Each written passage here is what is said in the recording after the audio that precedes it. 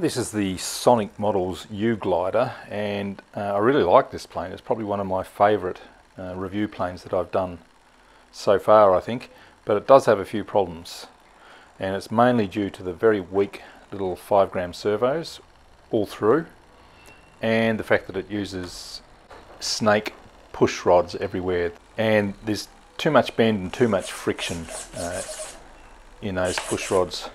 I've already stripped two servos, uh, the central one for the ailerons, I stripped it just setting the thing up and this is the elevator servo and see that one's complaining badly as well. So I need to change that but I can't get access to it. So I'm going to extend the the hatch back a little bit and I am also going to get rid of these push rods with the central servo and just have individual servo uh, individual servos in the wings operating each aileron. That'll give me much more options much better control. I have also changed the ESC for a Turnigy Plus 12 amp ESC so that now I can stop the prop spinning and it folds back when you're gliding with the ESC brake. And the battery I'm using now is a 2S uh, 90, 950 milliamp hour battery and that fits in really nicely. So first up I'm going to do a little bit of surgery here to lengthen the hatch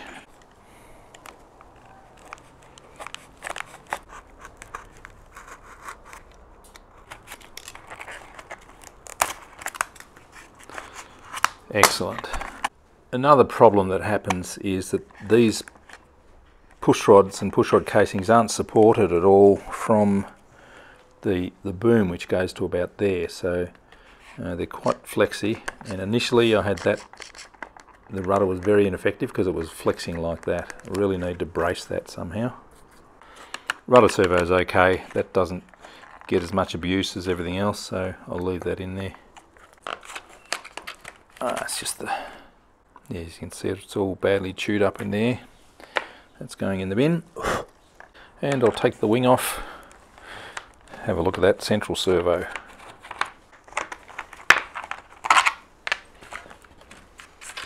I've just hot glued this little servo in so I should be able to get it out easy enough. There we go.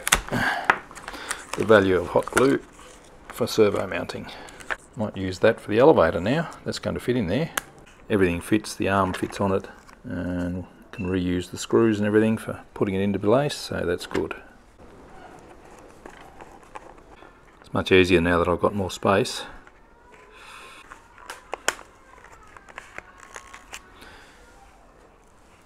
Done diddly done.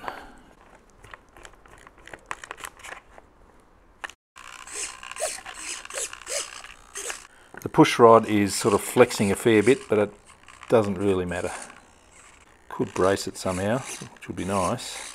So I've put a little bit of bracing in here just to stop the push rods flexing around so much. I don't know if that'll actually help much, but I can always pull it out if it gets in the way.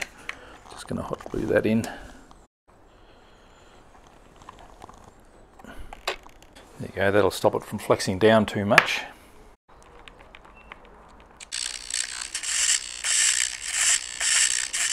Push rod is flexing a fair bit.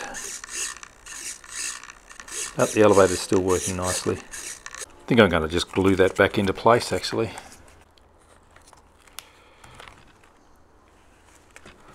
There we go. Good as new. The push rods have to go because I'm going to have individual servos there. Take that right off. So I'm just going to pull the snakes out. Don't like them at all. Oh, look, the casings have gone all brittle too. That's interesting. Easy to pull out. Now, I have some little uh, micro servos, 5 gram servos left over. The servo lead will conveniently go down in that little channel that the push rod was in.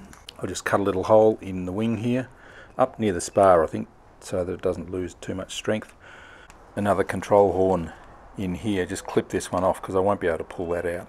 So, yeah, so I'll put another control horn there. Pop the servo in there.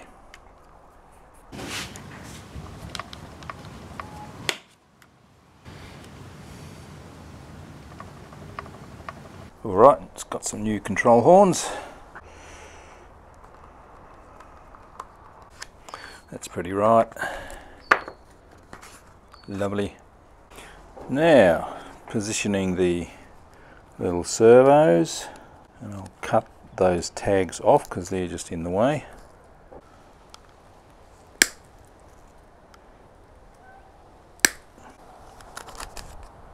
May have to strengthen the wing around it, we, we will see. Hopefully we don't go all the way through, but we probably will. That's better. Yes, I like that. We'll just tape over that. Alright, just a little bit of hot glue. Tiny dob just to hold it in place.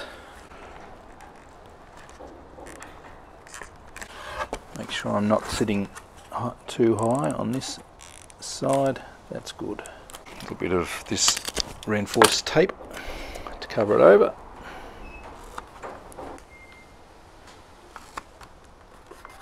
And I'm going to put some of this white tape over it just to hide it a bit too.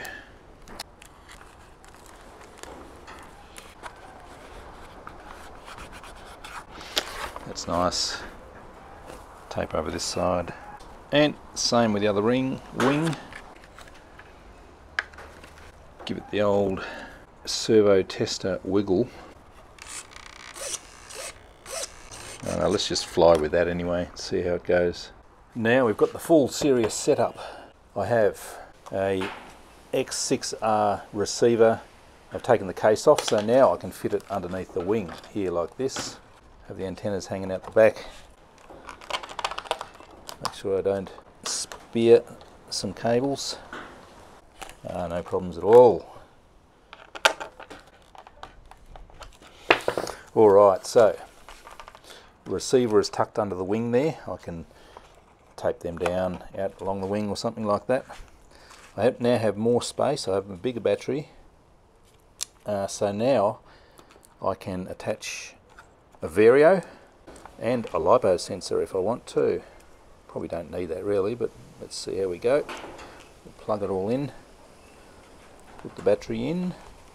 I think that way goes better. ESC's in alright. LiPo sensor, squeeze the Vario in. There we go. Alright, everything's in. That is cool. Serious thermal glider setup now.